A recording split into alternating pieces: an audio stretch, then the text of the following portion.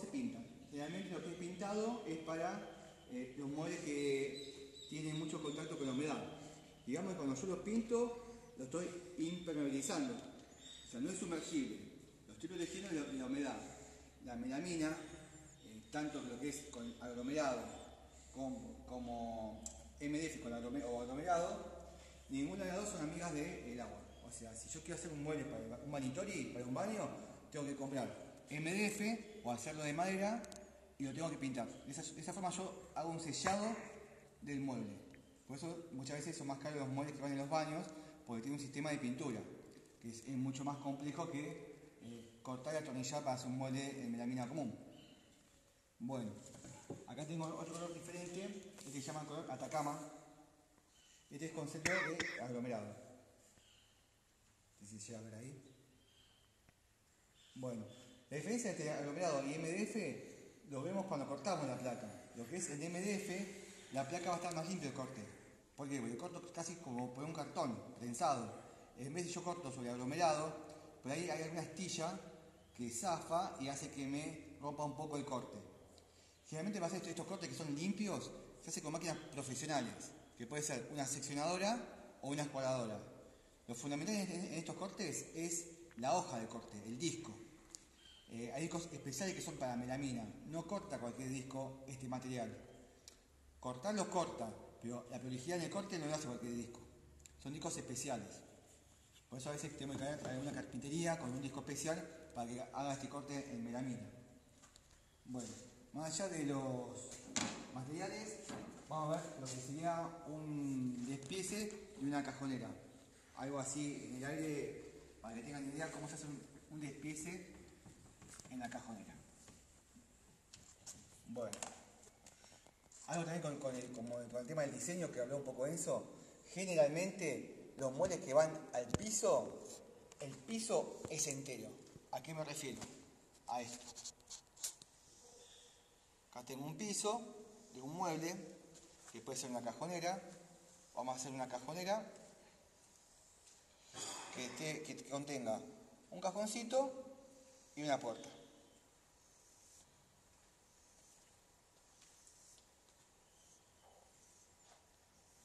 Muy bien. Si tienen preguntas, chicos.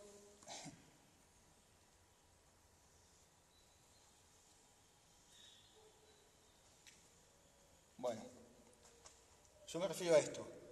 Fíjese cómo armé, dibujé este, esta cajonera que va a tener un cajón acá y podemos poner una puertita más abajo, en la parte de acá. El piso va siempre entero cuando es algo que va al piso.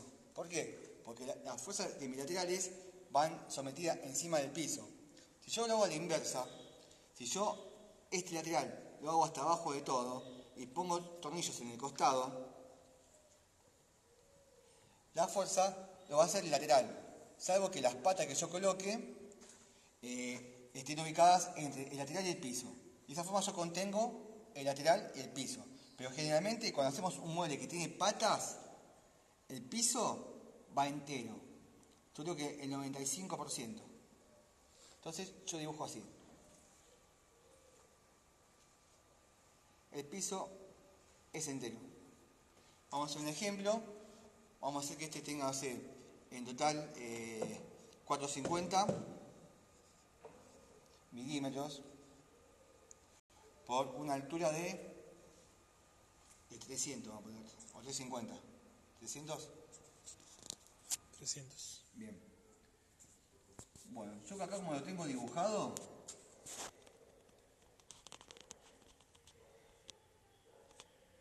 ahí. ¿Y una profundidad de 450? Sí. Muy bien. Bien. Yo acá puedo hacer, a comenzar el despiece de este proyecto que sería una cajonera con una puertita. Bueno, en, principio arranco por el piso. Tengo un corte de... Vamos a hacer lo que sea color blanco. Entonces el color blanco es indiferente la ubicación, pero generalmente ponemos el número más grande de adelante. El piso va a tener 450 por 4.50 sería el piso. Bien, acá tengo eh, dos laterales. Este lateral, ¿cómo, cómo calculamos esto? Eso lo calculamos que tenga, yo cuando hablo de, es de 300 milímetros, es de arriba hasta abajo. Entonces yo acá tengo que hacer un descuento. O sea, ¿cuánto sería el lateral este de acá?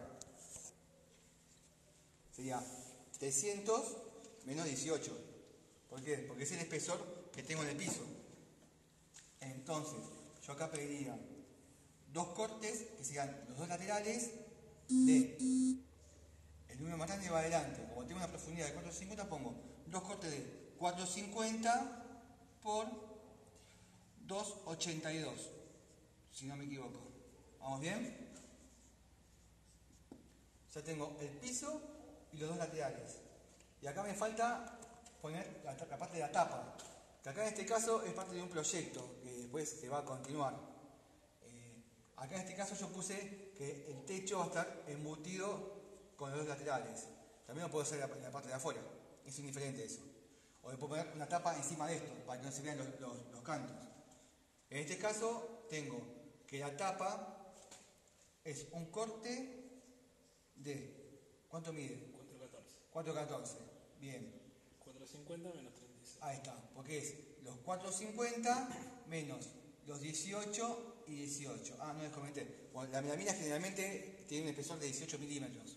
Se consigue de 15 también, pero generalmente usamos de 18 milímetros. Entonces yo tengo que estar eh, bien aceitado con el tema de descontar, eh, hacer cuentas siempre con 18 milímetros. Bueno, yo ya acá tengo esta pieza de acá, el techo, que sería eh, 450 en la profundidad por 414. Bueno, si hablamos ya también de, lo que es la carpintería, hay una palabra que llamamos vano. El vano es la parte interna de un sector del mueble. En este caso, tengo un vano que es un vano vertical. El vano vertical es la parte interior que hay entre lateral y lateral. Entonces tengo el vano horizontal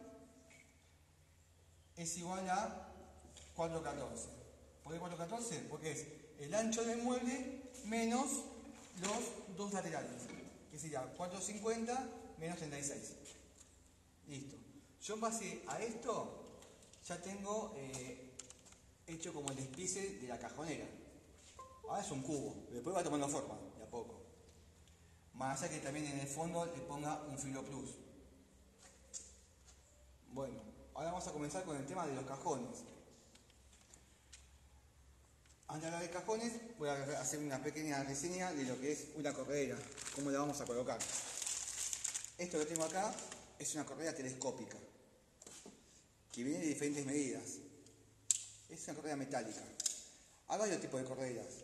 Tenemos que son tipo Z, que son más delicadas en algún sentido, y estas que son llaman telescópicas. El beneficio, de esta corredera es que se extiende al 100% con respecto a mi módulo. Tiene una extensión de un 100%, ¿no? Y aguanta mucho más peso que el tipo Z. Según los manuales te dice que aguanta 25 kilos o 30 kilos la corredera. También es, el uso que le doy. ¿Y qué, modelo de cajón voy a poner?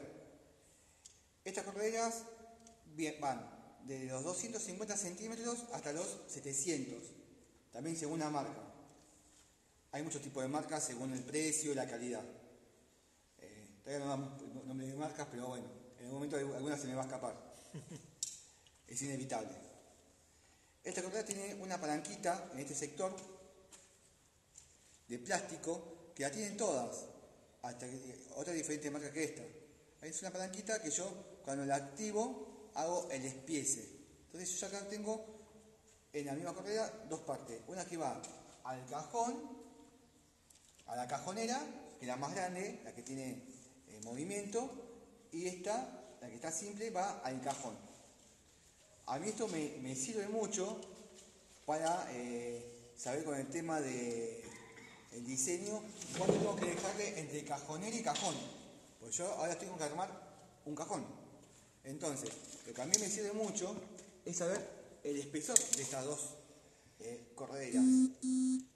Por manual, cada una tiene 12,7 milímetros. O sea, aproximadamente unos 26 milímetros entre las dos. Pero en el taller dejamos 27. Si yo dejo 27, la puedo llegar a suplementar. En caso de que me quede el cajón un poco más pequeño que la cajonera. Así que tengo correas telescópicas que van desde los 250 milímetros hasta los 700.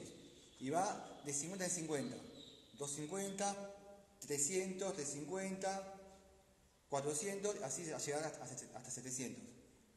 Como estas son simples, también vienen correas telescópicas que son con un cierre suave.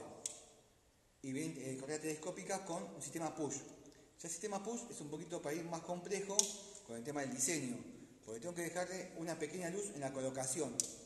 ¿Por qué? Porque el sistema push trabaja como un botón. Que después en otros cursos más avanzados vamos a ver la colocación de push.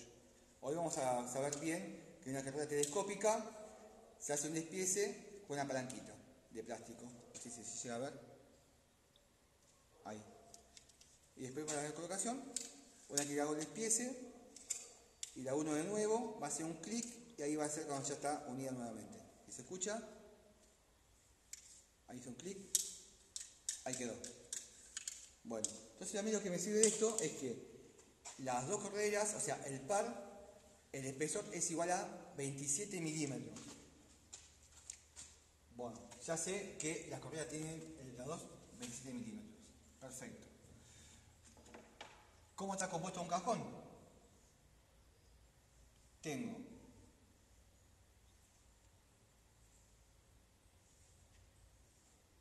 ¿Vamos bien eso? Vamos bien, vamos bien. Bien. Ahí está. Tengo. Esta es la parte interna del cajón. Así tengo un cajón acá de muestra, lo vamos a ver. Bien. Acá tengo cómo está compuesto el cajón. Si lo están viendo, tengo esta parte de la tapa, que es un frente doble. Si lo ven, es un frente doble. Tengo la tapa, la parte del frente, el contrafrente, los dos laterales y el fondo. Así lo nombramos acá. Algunos tienen otros nombres, pero bueno, vamos con el mismo fin. Tenemos la tapa, el frente, contrafrente, dos laterales y el fondo. Generalmente, o sea, siempre el frente y el contrafrente van contenidos entre los dos, laterales. ¿A qué me refiero? si se llega a ver bien por la cámara, que se atornilla de costado. ¿Sí? O sea, frente y contrafrente están dentro de los laterales y no la inversa. Si yo pongo la inversa, de tantas veces que puedo llegar a abrir el cajón, Tal vez me quede con una tapa en la mano. ¿Por qué? Porque el tornillo trabaja de frente. De esta manera el tornillo trabaja al corte, de costado. Entonces, el frente y contrafrente están embutidos dentro de los dos laterales. Hay muchos sistemas para armar cajones. Este es uno de ellos. Entonces, yo lo que tengo acá... Yo lo que tengo acá es la parte interna del cajón sin la tapa. Tengo el frente el contrafrente y los dos laterales. Falta acá adelante que ponga la tapa. Pero eso ya es un tema estético, es para el final. Si yo hago esta, acá, tengo que tener en cuenta entonces lo siguiente. Tengo que averiguar cuánto es la medida de F. Entonces, si yo acabo una esquemita, me quedaría algo así como esto. Tengo los dos laterales, el frente y el fondo el contrafrente. Y acá tengo las dos correderas. Entonces, yo para sacar esta medida de acá, tengo que hacer la siguiente cuenta. Que F, o sea, el frente y el contrafrente, va a ser igual al vano, que es lo que hay de acá hasta acá, menos las correderas que las dos van a sumar 27, menos los dos espesores de los laterales, este y este, que es igual a 36. Vamos a poner laterales. Esta es la fórmula que yo tengo para sacar esta medida de acá. esto de acá. Entonces, Perdón, F, Pablo. Recuerden que eh, los que se hayan anotado en nuestra planilla, que la- el que no nos puede contactar por WhatsApp y le mandamos el link, también está el link en la página web, va a recibir material extra, ¿sí? Eh, con todos estos datos bastante importantes que por ahí se nos pierde si no lo anotamos. está bien. Digamos que esta sería la fórmula para sacar esta medida.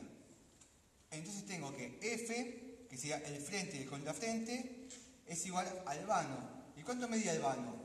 414, va a ser igual a 414 menos, dijimos las torreas, dijimos que el par eh, le hacemos un descuento de 27 milímetros. Menos los laterales, que es igual a 18 y 18. Entonces tengo que F, ¿cuánto da esto? ¿Esta cuenta? Hicimos hoy la cuentita, 351. 351. Revisala. Entonces, esta, cuenta, este, esta medida de acá es lo que tengo de acá. De acá a acá. Bueno, ya tengo un dato. Ese dato es importantísimo. Después tengo que saber bien con respecto a mi diseño cuánto va a medir la altura del cajón. ¿Eh? En este caso podemos hacer una tapa que tenga eh, 15 o, o 12. Se me queda una puerta que va a ser muy angostita y ancha. Vamos a hacer que la tapa tenga, bueno, que tenga, esta altura sea igual a 10, vamos a hacer que sea 10. Entonces tengo acá, con el tema del despiece, ya voy a empezar a hacer el despiece del cajón. Voy a pedir dos cortes, porque es frente y contrafrente, sabiendo que la altura va a ser igual a 100. ¿eh? Y la profundidad, un detalle también en tema técnico de armado de los cajones, el cajón nunca llega al final del mueble, que sea un poco más chico, porque cuando yo coloco las correas tengo que dejar una pequeña luz el cajón y la cajonera y el fondo. Entonces yo qué hago?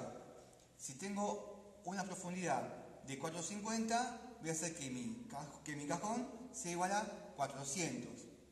Entonces yo acá ya tengo la distancia del cajón con respecto a mi cajonera. No va a llegar al final, va a llegar por acá.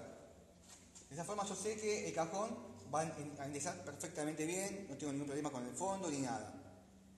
Lo gano en tiempo. Voy a empezar a hacer el despiece del cajón.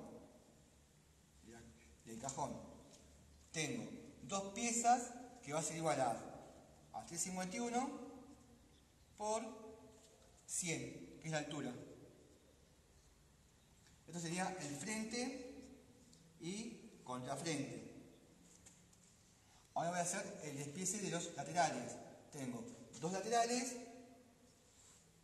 que es igual a 400 por 100, que es la altura de mi cajón. Yo ya acá tengo armado lo que es el cajón con respecto a mi cajonera. Ahora tengo que planificar también el tema de cómo va a ser la vista de adelante. O sea, cómo va a ser el alto de la tapa y cómo van a ser mis puertas. En base a eso tengo que también ver un poco el diseño. A ver cómo quiero que monte mis puertas. Porque hay un tema que todavía no llegamos, que es el tema de las eh, bisaras. No sé si lo vamos a ver hoy. Pero bueno, en principio vamos a, a ver cómo yo colocaría una tapa en este cajón. Yo lo puedo hacer de la siguiente manera. Yo puedo hacer que el cajón quede solapado encima de mi lateral. ¿A qué me refiero que es solapado? A que sería algo como esto. Que la tapa de mi cajón con respecto a mi lateral quede por encima. Porque si no estoy hablando que puede quedar embutido. Si queda embutido, embutido tendría que eh, modificar el tema de las correas un poco más al fondo, o sea, 18 menos. ¿Por qué? Porque la tapa de mi cajón, que tiene 18, va a estar contenido adentro de mi cajonera. Entonces, yo a este diseño lo voy a hacer como que la tapa del cajón quede solapado con respecto a mi mueble. Y acá también tengo que proyectar. ¿Cómo voy a hacer que solape? ¿Que solape a la mitad o que solape eh, a medio canto? Bueno, también tiene mucho que ver ese tema de diseño porque yo después cuando coloque las puertas tengo que proyectar cómo van a solapar. Porque no puedo solapar el cajón entero y que las puertas de abajo me queden a la mitad del canto. En teoría, en la vista queda mejor que quede todo prolijo, todo alineado. Entonces, si yo a este cajón, esta tapa, la solapo a la mitad, también tengo que proyectar que mi puerta inferior esté solapada a la mitad. Y no solamente de este lado, acá, también que solape de este lado, porque si no voy a solapar tapando todo el canto de un lado y medio de otro. Entonces tengo que ir jugando con el tema de las medidas. Acá yo tengo que el baño es igual a 414. Entonces, si yo quiero que solape mitad de acá y mitad de acá, ¿qué voy a hacer? Voy a hacer 414 más 18. ¿Por qué? Porque tengo 414 de este lado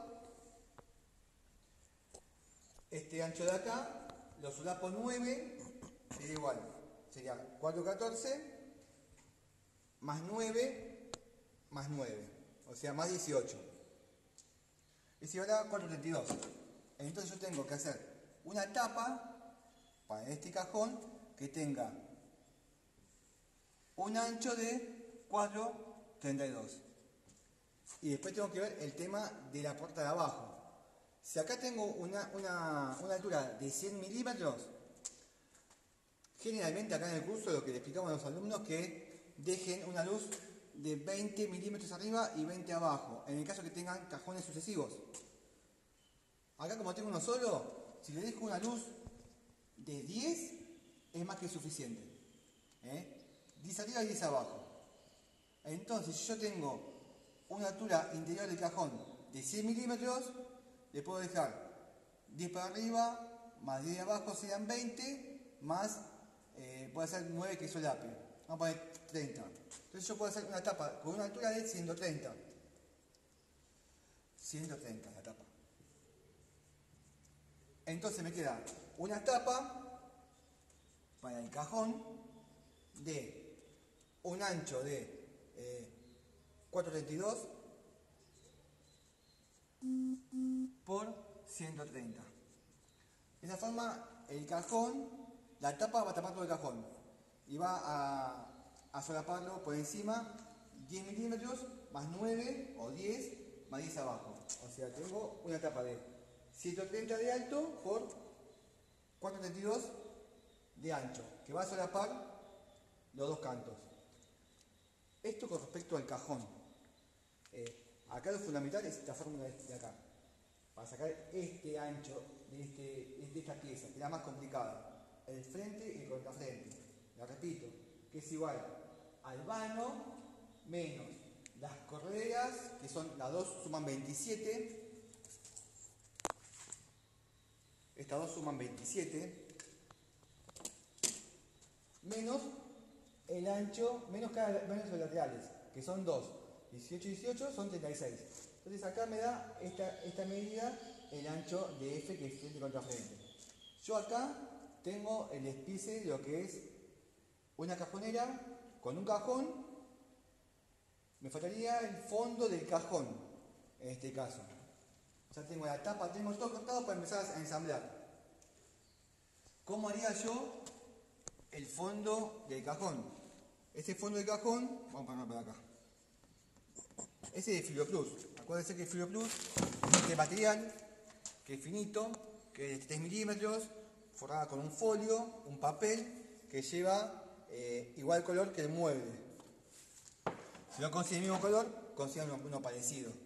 Yo en este caso tendría que hacer la cuenta de hacer eh, para este fondo del cajón, se puede hacer el vano menos 27. Hay diferentes formas de llegar a un mismo, a, una misma medida. O si uno también puede hacer esta medida de acá más 36, es lo mismo. es igual a 3,87. Lo que es, porque va de punta a punta. El ancho. Y la profundidad es la profundidad de mi lateral. Mi lateral tenía de profundidad 400. Entonces tengo uno de 400 por 387. Que es igual al vano menos 27 o a F más 36. Es lo mismo. Si me llevo a confundir algún número, porque lo, tengo, estoy en vivo, eh, me corrigen chicos. Ya ahí tengo una cajonera. Una, pregunta, de, de Viviana. Consulta si las correderas son 27 las dos juntas. Las dos juntas. Según el manual, Viviana, según el manual es 12,7 cada una. O sea, te va a dar aproximadamente 26 milímetros las dos. Pero en el taller lo hacemos a 27. Porque por ahí cuando atornillamos hay una pequeña superficie y me da un espesor. Lo hacemos a 27. Cuanto mucho lo suplementamos un poquitito. Pero bueno, según los manuales es 12,7 cada una. Acá en el taller hacemos que el pack de correas hacemos un descuento de 27 milímetros, las dos juntas. ¿Sí? ¿Alguna pregunta más? No, por ahora. ¿No? Bien. Esto es Fibra Plus. Que es el fondo del cajón. Acá en este caso el fondo lo clavamos con una herramienta neumática que tira clavos, una clavera neumática. Tiramos clavos de 50 y lo clavamos. Se hace un poco más de refuerzo, le ponemos un poquito de cola de carpintero, pero casi nunca hace falta. Así que antiguamente se hacían de diferente manera los, fondos, se colocaban de diferente forma, pero no en este material. Ya hablábamos un poco de madera. Se hacía con un tema de encaje interno, donde pasaba la lámina por el medio, se, hacía un anclaje. Pero este material, con lo que se clave de abajo, es más que suficiente. Si tengo que hacer un cajón para un proyecto más grande, que puede ser un bajo mesada, con cajones profundos, posiblemente ahí le tengamos que poner una placa de melamina de 18 que quede embutida por dentro de los cajones. De esta forma yo tengo un cajón con un fondo más reforzado. ¿eh? Si es un cajón cubertero para una mesa de luz, con Frio Plus va de 10. Igualmente Frio Plus también lo usamos para los muebles, para que no hagan un vaivén. Es queda como un anclaje. Bueno. ¿Algo más sobre esto? ¿Cómo Eh, venimos hasta ahora? y ahora venimos bien. Faltaría la, la, la puerta de adelante. Pero eso por ahí explicamos el tipo de bisagras la próxima clase. Si querés ahora vamos a hacer un, canteado o cómo se cantea la- las piezas, así ya pueden ir avanzando. Si tienen algún proyecto, aunque sea van pidiendo los cortes, si tienen que hacer una cajonera, ya tienen más o menos cómo se fabrica, cómo se hace eh, un despiece para una cajonera y ahí pueden pedir los cortes a diferentes empresas.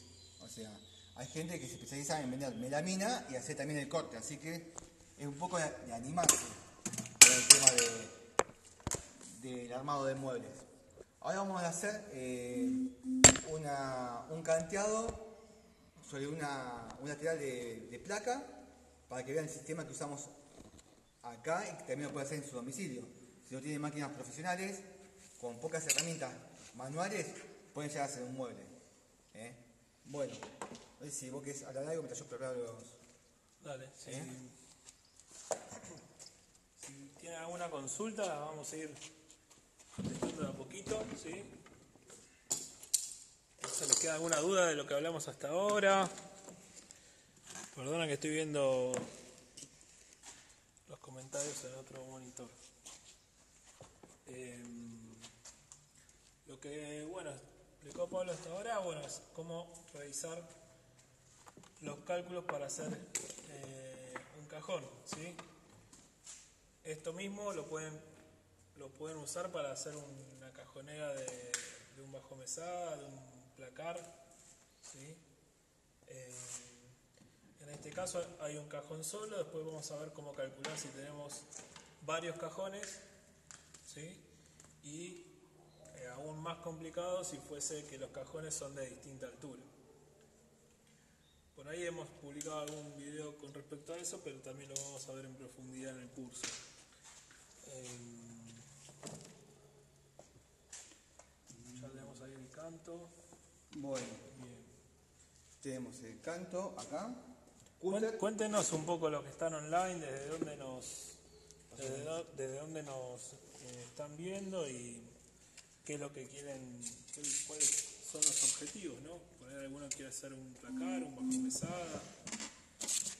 Y bueno, así, así podemos darles algunos otros detalles. Bueno, ya estoy con todo, me falta una hoja de algún cuadernito. Bueno. Nuevamente enfocamos acá. La prolijidad. Ya vamos a ir resolviendo el tema de, de video y esas cosas. A la gente que está por Instagram también. Bueno, voy a apuntar bien acá, así ven. Y una hojita, una, una hoja limpia. Ahí te veo una hoja.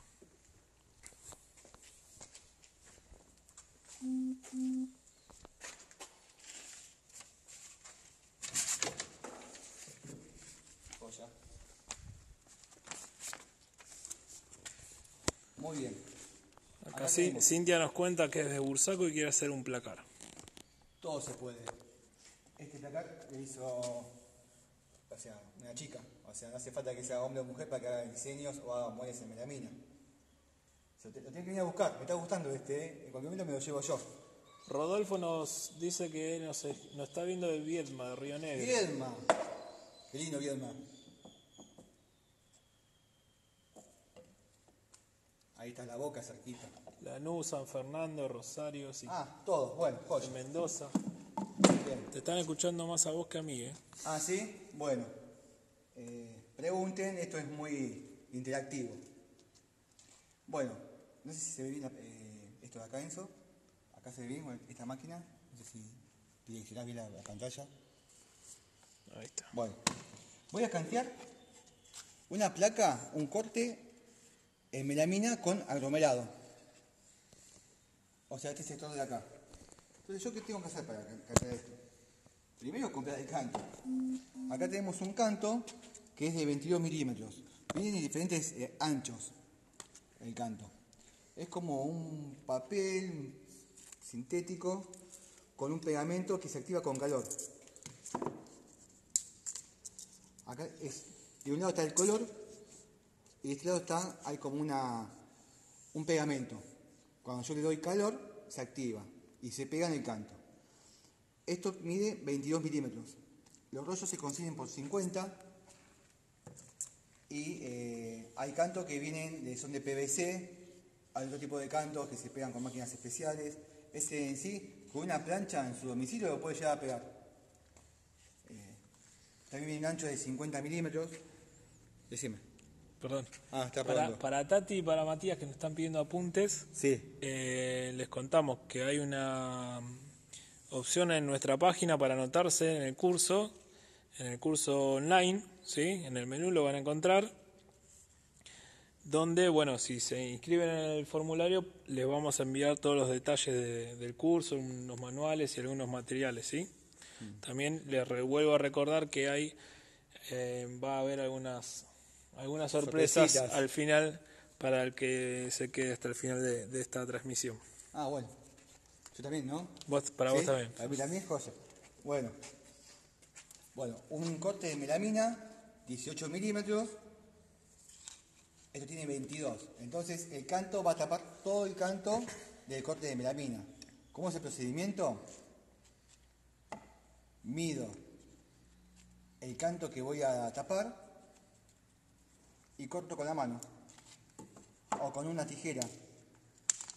Así de fácil.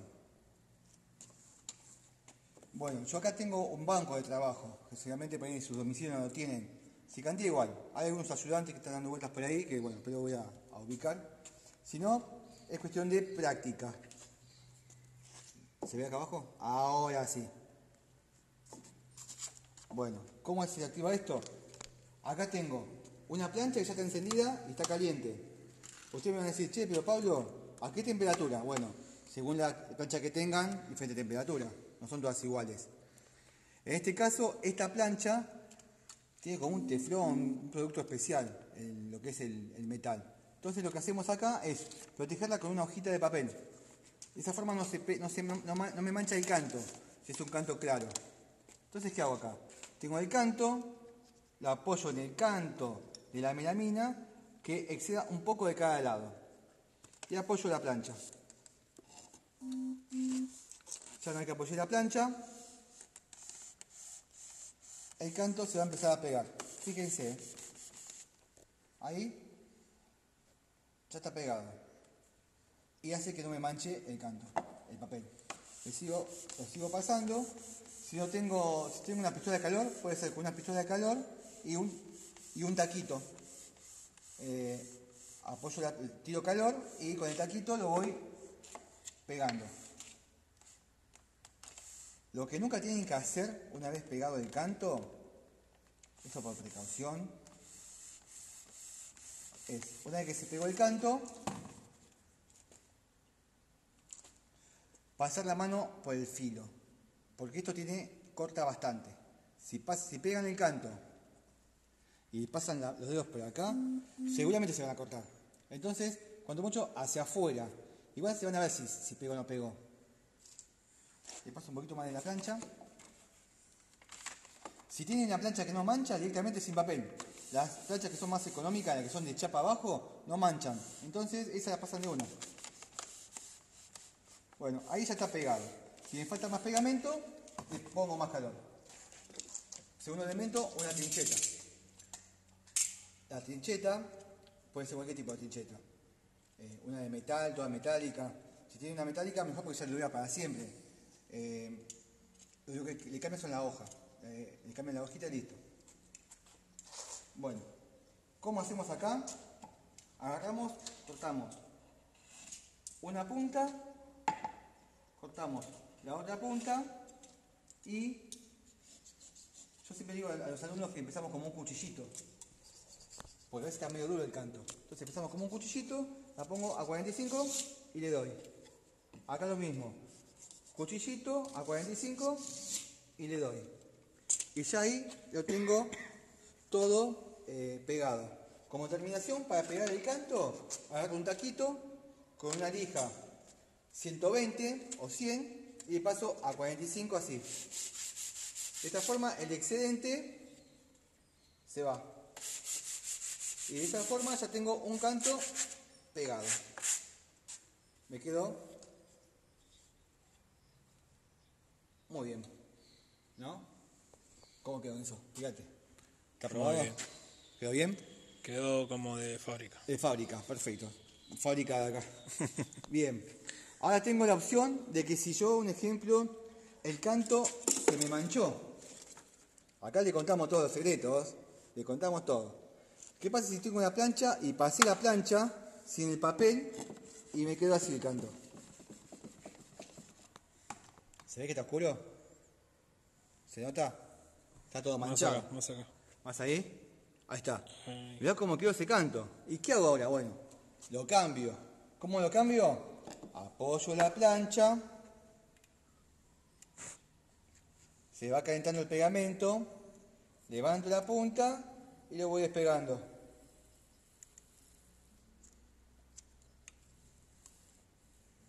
Acá te contamos todos los, secretos, ¿eh? no escondemos nada. Bueno, este canto que saqué, ya está, fue. Este pegamento que quedó acá, ya está, queda acá el pegamento. Pego nuevamente un canto nuevo encima de esto. Y ya está el tema del pegado de canto. Cuando tengo, uno, cuando tengo una unión de cantos, este de acá con este del costado, es lo mismo. Canteo un lateral, lo corto, lo lijo y continúo con el que sigue. No, hay un orden de canteado, en diagonal o, cruzado. Siempre lo que voy a cantear es lo que se ve. Cuanto mucho, si sé que va a estar en una zona de humedad, voy a cantear la mayoría del mueble. De esa forma, el canto me va a, a proteger el mueble contra la humedad. Igualmente les repito, la melamina, tanto con el aglomerado, que es este de acá, ahora se ve bien, este, como el MDF, que es este de acá, ninguno de los dos es amigo del agua. La diferencia que hay es en el corte. Este el MDF, el corte con la máquina se hace mucho más limpio que lo que es aglomerado. Y el precio del aglomerado, obvio, es más barato que el MDF. Eh, el peso es, mayor el MDF que aglomerado. Esas son las diferencias generales. Yo siempre destaco la diferencia más que todo en el corte, en la limpieza del corte. Un corte limpio no tiene imperfecciones. Y un corte, no sé si se llega a ver acá, acá está como medio cachadito. Eso es lo que se ve. Si uno va con un molde a un domicilio y entrega eso, no está bien. Igual hay formas de emprolijar un poquito los cortes que ya vienen eh, medio defectuosos. Es un tema de hoja, de corte. Por eso siempre hay que elegir alguna casa, alguna carpintería que eh, tenga una buena hoja de corte o que la eh, refile. Así que, bueno, con respecto al canto, es así. No hay mucha vuelta. Hay máquinas que pegan cantos, son carísimas. Y la, ventaja de la plancha, eh, que si vos tenés que ir a un domicilio y se, se un canto, vas con la plancha, lo levantás y le pegas el canto arriba. Después lo lijás, eh, lo cortás y lo lijás. Más que eso con el tema del canto y es práctica. Acá uno en un comienzo ve que es mucho lo que hay que cantear. Bueno, el canteado es parte del proceso de armado del molde. Yo si no hago, un buen canteado, ustedes imagínense que lo que yo canteo es lo que se va a ver. Si yo lo canteo sin ganas, lo canteo mal, se va a ver algo feo. Entonces, mucho hincapié en ese procedimiento de canteado, que es práctica, para que le quede el mueble lindo. A veces eh, se puede hacer un mueble de un color interior y un color diferente de afuera. ¿A qué, a qué me refiero? El tema de costos. El tema de costos significa que yo puedo hacer un mueble con un interior blanco y un frente de color. De esa forma me ahorro unos pesos. ¿Por qué? Porque pregunta, ¿te están tirando alguna pregunta o algo? ¿Sentís algo? Ahí. A ver. Acá hay mucha tecnología. ¿Cuál es el tapacanto de PVC? Pregunta Paola. Bueno, acá no lo tengo a la vista. Eh, hay unos tapacantos que se pone, esto es, tiene preencolado. Hay algunos que se le pone el pegamento, que generalmente, se lo pone, se coloca con máquinas especiales. Eh, vos pasas la pieza, aparece el rollo de PVC y va pegando como un cemento de contacto y se va pegando y se va cortando automáticamente. Ese sería, hay muebles de oficina que se compran en los supermercados, acá murió. Murió. Sí que se compran en, no sé, en molerías. Espérenme un segundo que... ¿Sí? ¿Qué pasó? ¿No se escucha? Se, se cortó el audio. ¿Ah, el audio? Sí. Eh, vamos con el audio de acá. Si acá me estaba diciendo que no sé qué.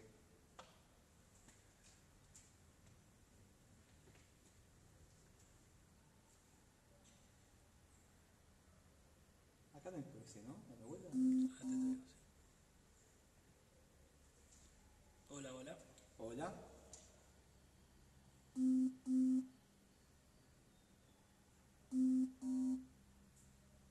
bien. Ahí seguimos. Eh, habló por acá que se escucha. Listo, ahí me acerco. Problemas técnicos. Problemas técnicos ya. Técnicos, ya vamos a solucionarlo. Bueno, ahí me va a buscar un pedacito de canto de PVC. El canto de PVC, eh, bueno, como su nombre dice, es de PVC, pero no tiene un pegamento preencolado, como este de acá. Eh, ahí se coloca con máquinas especiales, donde pasa la pieza. Ahora sí, vamos. Ah, ¿se escucha? Joya. Donde pasa la pieza y eh, el cemento de contacto hace su trabajo y se lo pega al canto.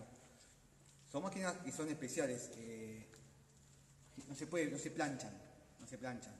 Ya va pegado con cemento de contacto. Ahora después me vas a conseguir un pedacito de canto PVC. Ahí fue a buscar. Bueno, además ese canto es más industrial. Eso viene en los muebles de oficina, se había escuchado antes. Pues fíjate que en los muebles de oficina hay un canto que es más ancho, no es finito, como este de acá, que es como un papel. Eh, es, ese es el canto de PVC. Tiene diferentes medidas, diferentes espesores. Acá, joya. Bueno, este de PVC. No te vas a dar cuenta porque estamos en video, pero bueno. Este de acá tiene preencolado de un lado. Acá tiene como un preencolado. Ahí. Este de acá no tiene nada. Entonces, como no tiene nada, va pegado con cemento de contacto especial. Eh, este viene por rollo de, no sé si son 150 metros. Es algo muy industrial. Este es finito. Algunos son más gruesos. Eso también eh, da a la calidad del mueble y a la durabilidad del mueble. Eh, ¿Alguna pregunta más? No sé si ya la, la respondí bien esa. Si tengo alguna duda. Eh, se perdieron una parte, dice. No sé si- Dice acá. Eh, ¿Qué parte? ¿A partir de dónde? ¿El claro, se fue el audio, que no sé muy bien. ¿Se fue el audio? ¿Qué parte? ¿Arrancamos? ¿A partir de dónde? ¿De cómo se cantea?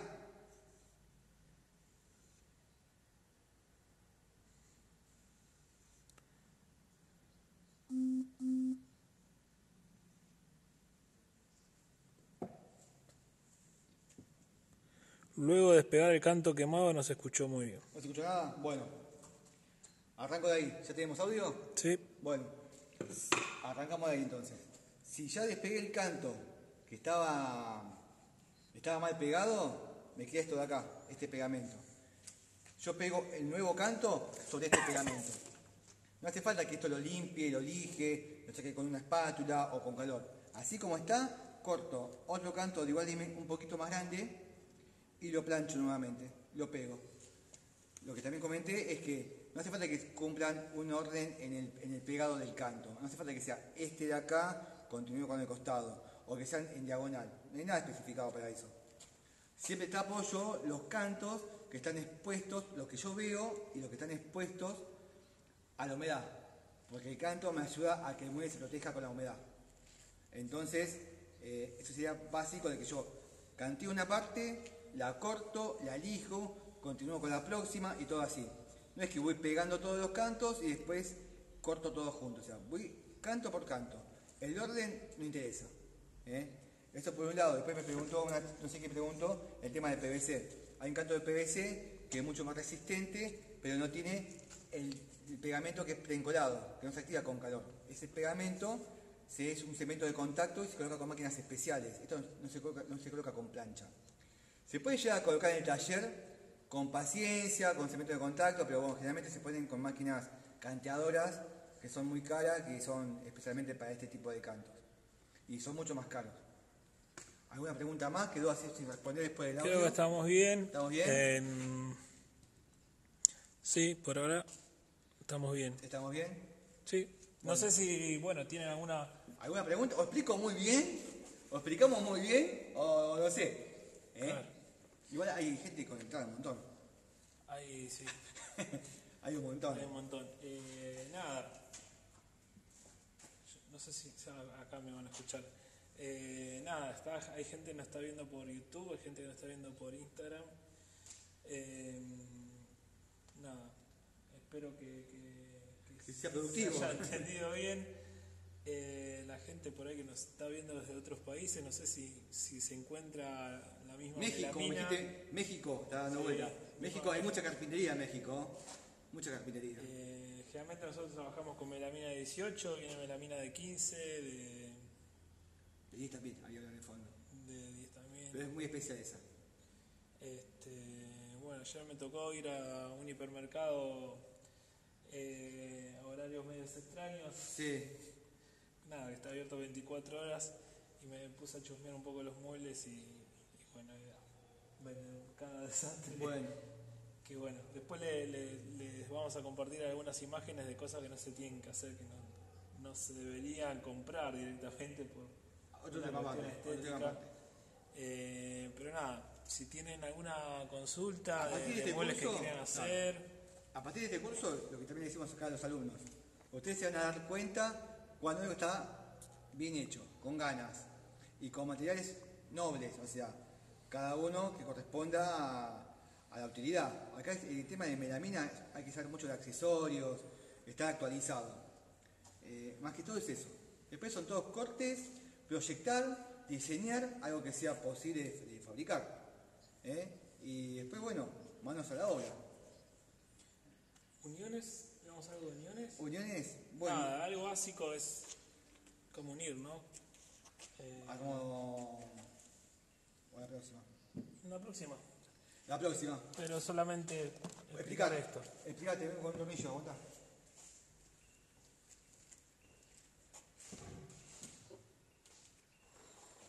Nada, lo que les quiero explicar, después lo vamos a ver más eh, en profundidad, pero cuando tengan que hacer un, una unión de melamina, ¿sí? Tornillo. Explicá las medidas. La unión de melamina se puede o, o hacer con tornillos, o hacer con tarugos, o, o con armamuebles, o con Sistema minifix, minifix, O graphics. graphics. Pero bueno, chiquitos. la unión básica que es con tornillos, lo que tienen que tener en cuenta es esto. Yo te voy a poner este tornillo en estas dos piezas. Lo que no tengo que hacer es agujerear las dos piezas. ¿sí? Solamente tengo que agujerear una. En el caso de que fuese aglomerado. En el caso de que fuese aglomerado, hago un agujero en la primera pieza que pase el tornillo con la mano. ¿sí? El tornillo tiene que pasar con la mano sin fricción. Entonces lo que va a hacer el tornillo es encastrarse en en la pieza de abajo y empezar a enroscar la pieza de abajo. ¿sí? Y va a traer esta pieza, eh, la, eh, la- pieza de la primera, la que tiene agujero, hacia la otra, empujada por la cabeza del tornillo. ¿Bien? En el caso de que fuese MDF, tenemos que sumar un paso más, que es hacer un mini agujero un poco más eh, de un calibre un poco más angosto que el tornillo, ¿sí? Eh, para que no se explote, digamos, la- el MDF que suele pasar, se puede, se puede abrir. Que es, un- nada, es un detalle menor pero importante a la hora Igual lo vamos a ver bien cuando estemos ensamblando el mueble, cuando estemos ensamblando la, una cajonera o algo, lo vamos a explicar nuevamente eso. Muy bien. ¿eh? Eh, bueno, nos queda ver el tema de diseño de. mm, Perdón, la cámara está. Diseño de, de bajomesadas, diseño de placares, Y bis- bisagras, bisagras. bisagras, correderas, la colocación en vivo y Algunos tips de fabricación y de armado. algunos tips. También vamos a ir anotando algunas preguntas que nos hayan quedado colgadas. Muy bien. Eh, y bueno, queremos darle un cierre a esto. Eh, nada, pues tuvimos. eh, Hicimos lo que que para-. Claro, tratando de dar alguna sorpresa para los que se quedan hasta el final, ¿sí? Eh, nada, hay mucha gente que nos está mirando que ya se anotó, hay gente que no se anotó el curso. Espérame que te enfoco acá. Ahí estamos. acá la producción que estamos haciendo. Sí, todo a Esto, pulmón, yo le sacaría. todo a pulmón. Sí. Eh, nada. En nuestra página movilando.com tienen un menú dice cursos, cur- van a cursos online y ahí pueden eh, inscribirse a este curso que estamos dando, es el primer curso. ¿sí? Van a tener acceso a las cuatro clases y a material extra que vamos a estar mandando en esta semana o en la próxima, eh, con un PDF, con, con algunas cuestiones técnicas que explicamos hoy, otras que se nos pasaron y eh, algunos diseños también. ¿sí? Y a su vez, para todos los que se quedaron hasta el final, eh, les vamos a ofrecer un 20% de descuento para futuros cursos, cursos presenciales o cursos online en el momento que salgan, eh, colocando este, este código en la pasarela de pago, Corona Chau, que Muy buena la ocasión. Muy buena esa. Eh, así que bueno, nada, acceden, el que quiera comprar un curso van a seguir los pasos y en el momento de, de la pasarela de pago colocan el, el código de descuento, ¿sí? Así que bueno, no sé si tienen alguna otra consulta, nos estaremos viendo el miércoles que viene, que sería la segunda clase, en, esta misma, en este mismo horario. Eh, a ver si tienen alguna... Sí, el sonido se, se escucha bajito, parece. Sí, tenemos que mejorar un poco el El sonido. sonido. Eh, bueno, nada. Nos fue- estamos viendo. Por favor, denle a suscribir al canal de YouTube. Así es más fácil transmitir con, con celular, que no nos deja YouTube hasta que lleguemos a ciertos suscriptores. Eh, síganos en Instagram, en las redes, compartan esta experiencia con otros familiares, amigos que quieran aprender a hacer muebles. Nosotros estamos tratando de hacer todo lo posible con, con Pablito para, para transmitirles el conocimiento y, y con todo el equipo también. Eh, así que nada, con el, con el profe Herrería, con Darío que está en San Martín, eh, con Horacio. eh, y con Dani que está bueno dando el curso de electricidad también. Eh, seguramente van a salir más adelante algún, algún curso de, de electricidad, de tapicería o herrería. Ahora estamos en La Plata y en San Martín. Estamos en La Plata, provincia de Buenos Aires, para la gente que nos ve de Argentina. afuera. Eh, nada, los invitamos a todos los que quieran concurrir. Hay cursos acá en La Plata y en San Martín. Y de vez en hacemos en-. Capital también. En Capital hacemos cursos relámpagos. También. Y estamos por salir en Vicente López, que bueno, por todo este tema lo, hemos bien. postergado, pero en cualquier momento también vamos a, vamos a estar por allá. ¿sí? Así que nada, muchísimas gracias por estar del otro lado. Y Vamos nada, a seguir mejorando sigan- esto, el sonido y todo, vamos a mejorar. Mándennos eh, comentarios y vamos a estar mejorando un poco todo esto. ¿sí? Espero que les haya servido y nos vemos el miércoles que viene. A la gente que está en Instagram, en Facebook. Estamos todos lados. Estamos Esto, esto es fe- esto es Facebook, Instagram Eh, acá. Así que nada, Listo. síganos eh, viendo en el canal de en vivo. ¿sí? Bueno, Muy bien. Acá todavía seguimos. Muy bueno, dicen acá. Genial.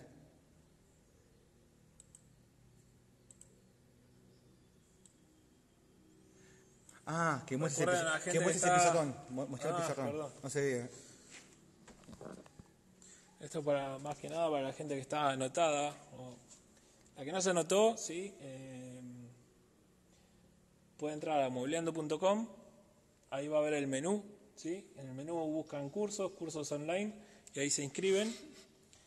¿Ves? Te- te Van a, van a tener acceso a, al- bueno, a estas cuatro clases, ¿sí? Ya, ya fue la primera, vamos a estar colgándola para que la tengan, para que tengan acceso a esa clase. Vamos a estar enviando material extra, ¿sí? Para que puedan estudiar y, y hacer algún, algún diseño. Y también le estamos, eh, para todos los que se quedan hasta el final, eh, le queríamos dar un, un regalo, un 20% de descuento para cualquiera de nuestros cursos presenciales o los futuros cursos online que, que vayamos a hacer. En la pasarela de pago ponen Corona Chau Muy bueno. código. eso. Muy bueno eso. Eh, y nada, eh, déjenos comentarios, síganos en las redes, por favor. Eh, sigan nuestro perfil más que viendo este video ahora. Es muy importante si se pueden suscribir a nuestro canal de YouTube, que mm, bueno, nos va a permitir transmitir en, en vivo eh, de una forma mucho más fácil. ¿sí? Muy bien. Así que bueno, muchas gracias por estar del otro lado y nos vemos. Joya.